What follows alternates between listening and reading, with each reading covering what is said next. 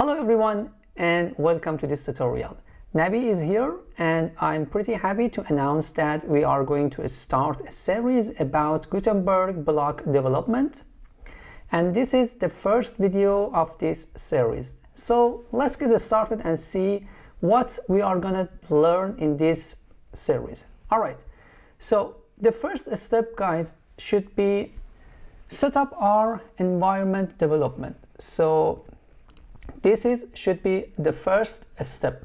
So the next video we are going to talk about how should we set up our environment development.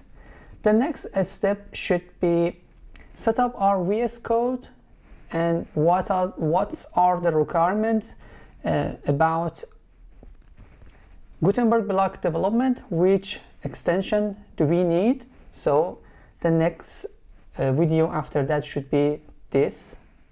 And after that, we are going to talk about how should we create our first Gutenberg block.